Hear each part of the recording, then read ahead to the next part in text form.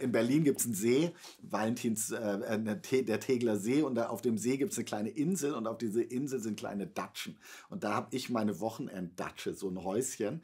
Und neben mir hat ein Professor seine, seine Datsche gehabt und hat mich zum Grillen eingeladen. Und dann saß ich bei ihm und habe Fisch gegrillt und habe ihn gefragt, was er gerade macht einfach so, um Konversation zu betreiben. Und dann meinte er, er verklagt gerade Google auf eine Milliarde Dollar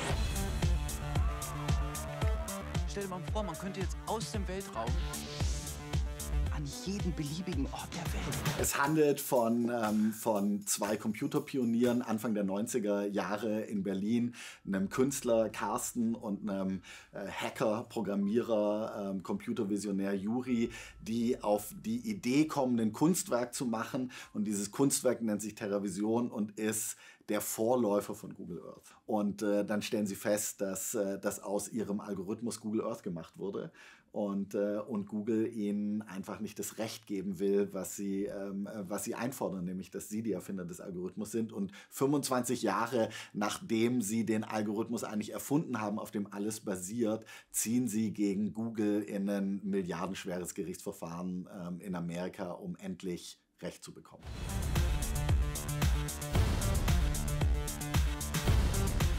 Wir haben Recht. Und Google hatte Unrecht. Ja, erstmal war es ja eine coole Geschichte, ja, die er, äh, ähm, die man so gerade gerne abends erzählt mhm. mit diesem äh, riesen Google-Prozess und so, ja. Aber wie man jetzt daraus eine wirklich emotionale Geschichte macht, ähm, wo es auch nicht nur um Algorithmen und Zahlen geht oder um Patentstreit vor Gericht. Das war eigentlich die Herausforderung in der Entwicklung, ja. würde ich sagen. Also wie implementieren wir dort wirklich auch eine fiktionale, emotionale, starke Geschichte? Und ähm, ich glaube, dass das so im Nachhinein wirklich die große Leistung ist, dass wir eigentlich eine große Freundschaftsgeschichte erzählen. Also neben der Digitalisierung und diesen, dieser großen Zeitspanne erzählen wir auch zwei Menschen, die was zusammen ähm, äh, erfinden, die sich die sich ganz doll mögen, die sich auch äh, irgendwie zerstreiten und wieder zusammenkommen. Und da kann, glaube ich, auch jeder andocken, egal ob man jetzt ähm, irgendwie Computer mag oder nicht. Wir haben eine der wichtigsten Erfindungen des Computerzeitalters gemacht.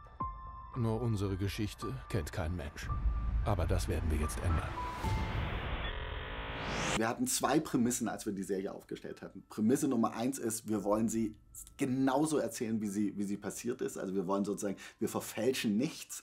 Ähm, nichts von dem, was, äh, was dort passiert wird, sozusagen würden wir auslassen oder irgendwelche Sachen hinzuerfunden. Prämisse zwei war, als wir mit den wahren Erfindern geredet hatten, war deren Wunsch, nicht als äh, sie selber in der Serie in Erscheinung zu treten. Diese zwei Ausgangspunkte hatten wir. Also hatten wir diese Interviews geführt und die hatten gesagt, nehmt alles, was in diesen Interviews drin ist, aber nennt uns bitte nicht so, wie ihr, wie ihr seid. Und so kamen wir auf den Gedanken, und das war aber immer auch in Absprache mit denen, die es eigentlich erfunden haben, dass wir gesagt haben, wir erzählen aus all den Künstlern, die in Art und Com gearbeitet haben, einen Künstler und aus all den Programmierern, die daran beteiligt waren, einen Programmierer.